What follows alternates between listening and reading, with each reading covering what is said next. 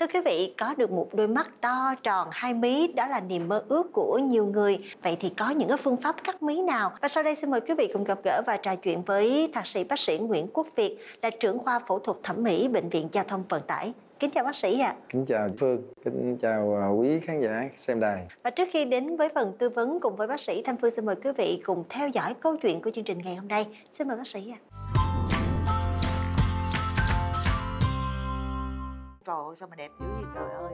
Chị ba ơi chị ba. Ơi ơi ơi ồn ào quá trong này nè. Chị ba chị ba. Đẹp. Chị ba. Đẹp quá. Thôi mà em biết em đẹp rồi. Cái gì đâu vô cái khen ngại muốn chết luôn à. Chị đâu có nói em đẹp đâu. Hả? Có gì đâu muốn đẹp như vậy cũng được mà. Ước mơ của chị mà. Nhưng mà chị, chị ngại lắm đó bây giờ muốn đẹp một cái thì mình đi phẫu thuật là mình đẹp rồi. Nè có hai cái mà chị ngại. Thứ nhất á là chị sợ đau. Cái thứ hai á là chị sợ tốn tiền. Trời bây giờ cái thứ nhất là sợ đau đúng không? Ừ. muốn đẹp không? Muốn. Thì đó muốn đẹp thì phải chịu đau. Cái thứ hai bây giờ chị đẹp chị đẹp cho ai? Để cho chị. Thì đó có xá là bao. Chị muốn là cái mắt của chị đó. Tao nói là sáng á mà chị mở mắt ra trời ơi nó giống như chị có hai cái tô để trên cái mắt gì đó. Trời chị nói em mới để ý hồi nãy hả? Nếu mà nhìn chị vô nha trời ơi nhìn em tưởng chị 60 tuổi không á. Bởi trời đất ơi người ta mới có 55 tuổi à. Mà nói người ta 60 tuổi là sao chứ? Cặp mắt cặp mắt là cửa sổ tâm hồn. Bây giờ cặp mắt chị nó mở quá rồi tâm hồn ở đâu ra nữa. Trời ơi cặp mắt của em á là mới đón người đón tuổi lố á. Thì em mới biết cái khuyết điểm cặp mắt em có nói cái gì đâu nhưng mà chị là chị phải đi sửa đi. Đầu tiên là chị muốn là cắt mắt trước đi. Nha cắt mắt lấy mở mắt trước đi. Đúng rồi đó. Chưa biết là làm ở chỗ nào rồi chị chưa biết giá tiền là bao nhiêu rồi chị nói chung là chị cũng còn quan mang lắm mà chị rất muốn đi cắt mắt. Rồi muốn đúng không? Muốn. Thì hôm nay là nguyên nhân tại sao em có mặt ở đây nè. Tại sao em đi chợ mà cái trong cái vỏ nó không có cái gì? Sao vậy? Em vừa biết tin một cái là em chạy qua em nói cho chị liền. Mà tin gì? Đi cắt mắt đi cắt mắt. Ừ. Em đi, đi chợ cái xong nhỏ em nó gọi cho em. Cái lần mà em chạy qua thông báo chị liền. Biết sao nhỏ em nó mới mở tiệm. Đó cái xong rồi cái nó mới đang cần mẫu chịu không? Nó cần mẫu để mà quảng cáo để mà PR cho cái thẩm mỹ của nó. À. thì bây giờ á là em tính mời chị. Đó à. chị qua chị làm mẫu. Chị được làm miễn phí có tốn tiền đâu. Ủa vậy hả? Miễn phí là cắt tóc đi ha. Thí dụ như mà cắt mà nó còn hư thì tóc nó còn mọc ra dài được. Mà mắt mà làm miễn phí được mà cắt mà sửa lại được. Ôi chị yên tâm đi cái này người ta học nè người ta ra nghề đàng hoàng. Tay nghề phải cứng mới dám mở tiệm chứ chị giỡn hả? Vậy hả? Bữa giờ là cũng có mấy người mẫu rồi. Mà tại vì mấy đứa kiểu trẻ trẻ nhỏ em em muốn mẫu phải đa dạng. Em qua đây em hỏi chị em tính hỏi thôi mẹ không ngờ chị có nhu cầu. Thì đi liền có tốn tiền đâu. Làm liền làm liền làm liền. Bởi thích ghê vậy đó. Ừ cái gì vậy. lên đi ờ. nghi lắm mà thiệt. Ờ. ở trong bếp nghi lắm. Ba. Nghe giống như cãi lộn là biết con lan ở trong nhà mình rồi. Cãi lộn qua nào đâu? Nó qua đây tư vấn cho tôi. Nè báo cho ông biết rồi chưa? Sao? Ông sắp sửa có vợ đẹp. Rồi mừng cảm ơn. Nha. Ừ cảm ơn nghĩa gì? Tính kiếm vợ bé cho tôi hả? Tính kiếm vợ bé cho tôi hả? Bé bé bé bé nè bé tuổi trời ơi thấy chưa? Ủa chị thấy không? Ừ. nếu như mình mà không đi ngay là dễ dàng bị mất chồng lắm. Tôi sẽ đi làm đẹp. Nè tôi nói bạn nghe tôi cấm nghe chưa? Không có làm đẹp làm đẹp cái gì hết nghe chưa? Của phụ nữ phải có nhu cầu làm đẹp chứ. Như vậy mà còn làm đẹp cái gì nữa? Không có anh không hiểu em đâu. Tôi hiểu hết tôi đã chịu đựng xấu bao năm trời rồi chịu đựng xấu nữa có sao đâu. Giờ nói tôi xấu à bởi thấy chưa? Thấy chưa thấy chưa? Nhưng mà em nói thiệt bây giờ nè cho chị đi cắt mắt đi. Chị mà đi làm đẹp cắt mắt này nọ nó gặp rất nhiều vấn đề nguy hiểm chẳng hạn như có thể là tiền mất tật mang nữa hiểu không? Trời đất ơi anh là đàn ông mà anh biết cái gì mà tiền mất tật mang. Anh nói em coi anh biết cái gì mà nói vậy. Tôi không có chuyên môn để nói cho mấy người hiểu nhưng mà mấy người muốn biết phải không? Ừ. Mời bác sĩ nói.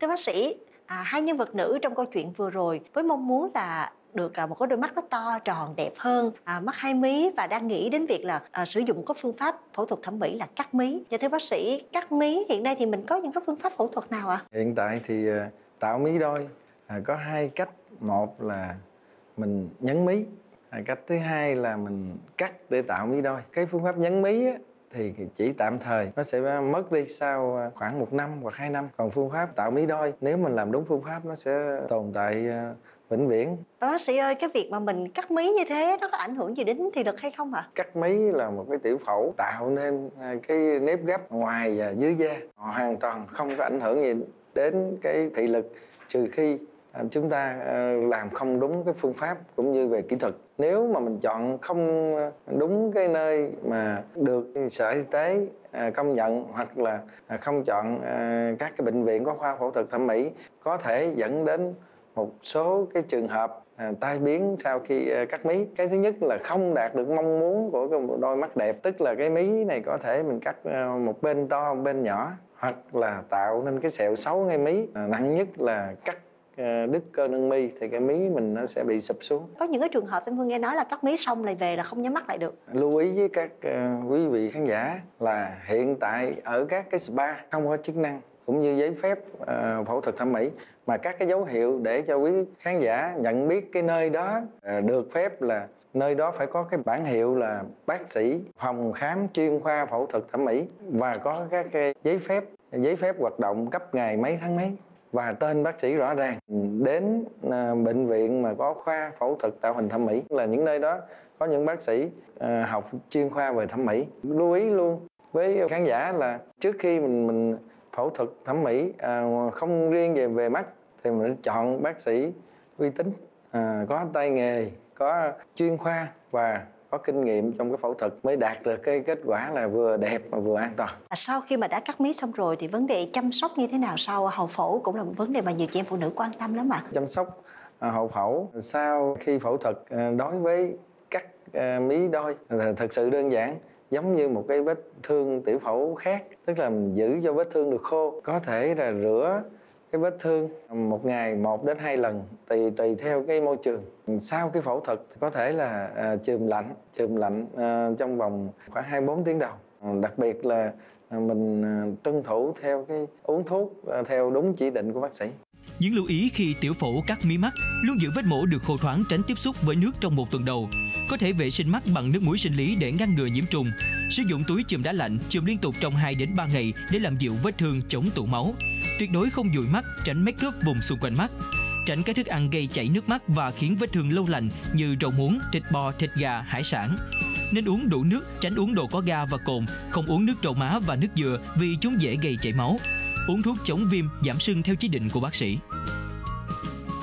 Xin được cảm ơn những lời khuyên của bác sĩ đã gửi đến cho chương trình. Và bây giờ quay trở lại với câu chuyện của chương trình ngày hôm nay, chúng ta sẽ cùng xem các nhân vật sẽ giải quyết tình huống ra sao nhé. Đó thấy chưa? Thấy chưa?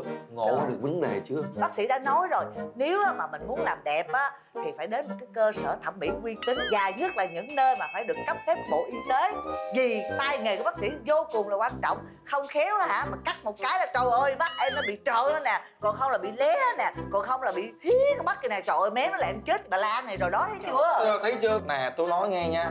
Cái chuyện gì xúi được cái chuyện này không thể nào xúi được. Mà em của em á nó có giấy phép chưa? Nghe nói là nó cũng mới mở tiệm. Còn cái chuyện giấy phép thì cái chuyện đó em đâu có rành. Nó chỉ gọi em nó nó đang cần mẫu thì em giới thiệu thôi. Chứ em đâu có biết mà nó nguy hiểm vậy. Em cũng muốn giúp cho chị chị ba đi làm đẹp chứ em đâu có cố ý mà muốn đóng nguyên cái cửa sổ tâm hồn chi lại. Ê, ý là nói tôi đuôi đó hả? Có đã làm đâu. Thôi tôi biết lỗi của tôi rồi. Lỗi của tôi á, là ham làm đẹp mà không chịu tham khảo đọc sách báo để mà tìm hiểu kỹ càng hơn. Thôi đừng giận tôi nghe tôi không có giận bà gì hết nhưng mà bà muốn làm đẹp á là phải bà tìm hiểu cho thật là kỹ. Bởi vì sao? Cái rủi ro nó rất là cao hiểu không? Biết rồi tôi biết rồi. Làm thiết còn bây giờ mặt già người ta nó khoái làm đó đau đau đau. Già tối ngày nó tới già. Thôi nha bây giờ là dẹp cái chuyện đó qua bên đi. Cái chuyện này mới quan trọng nè. Chuyện chuyện gì chị ba? Ở lại ăn canh chua cá kho tộ trời ơi cái món này em thích nhất nè. Ở lại liền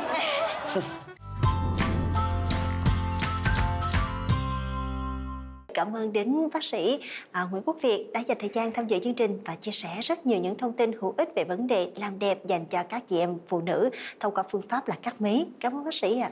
Quý vị thân mến, chương trình cũng xin được khép lại tại đây.